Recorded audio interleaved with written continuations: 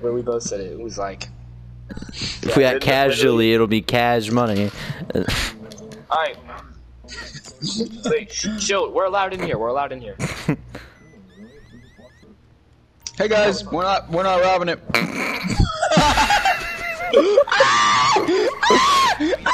Stay cash. Stay cash. What are these shitty weapons that you gave us?